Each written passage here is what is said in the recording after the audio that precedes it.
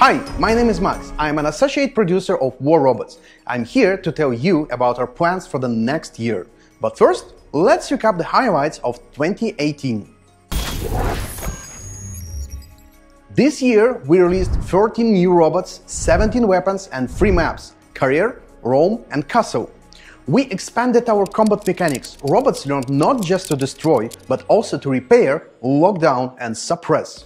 In the April update, our first solo game mode, Free for All, arrived. Skirmish events came along with the new special rules every weekend.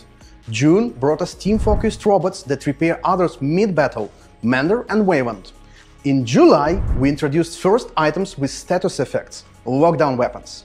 Then Workshop 2.0 arrived, and since then, you can produce components for almost any item in the game.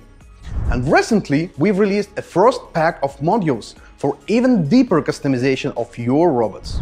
Among other things, we updated the clan competition with clan ranks and clan tasks. New inventory mode selection screens gave you a taste of future UI improvements. Of course, there were challenges. We are learning from the times when we could do better to improve our communication with you and keep pilots well informed. There will be a lot to talk about next year. From here, let's jump into our plans for 2019. Many pilots say that we introduce new things too fast and they find it frustrating to keep up with the changes. We understand you here and we have some good news. Next year, new items will come less frequently. You can expect new robots and weapons every three months instead of every month. And between those big updates, there will be smaller ones with new features, events, tweaks, and of course bug fixes. Overall, we want to make fewer updates, but make every single one of them worth celebrating. Slowing down will allow us to put more attention to refreshing what's already there.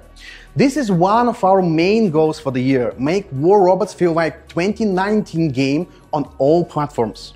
We will tell you more about that soon. We plan to expand our holiday events to make them more unique and fun. That means new activities and skirmish formats.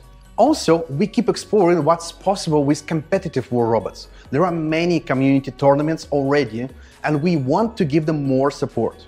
With the help of our outstanding pilots, last year we ran competitive events like Adrian tournaments for North America region, two platform leagues for CIS, and some others. Spoiler, all went great and we want to promote competitive war robots even further. There is a lot of amazing people in the War Robots community, and together they create something great. They draw, they write, they run tournaments, they make videos and drive amazing conversations. We believe those community heroes, you, deserve much more attention. This is why we want to tell you more about yourself, other pilots. Highlight the most amazing stories, put the personalities, clans, and their work into the spotlight. Because in the end, you guys make War Robots so great. There is much more to talk about. However, we want to keep some surprises up in our sleeve. Stay tuned for more news in January. Merry Christmas, Happy New Year, and see you in 2019.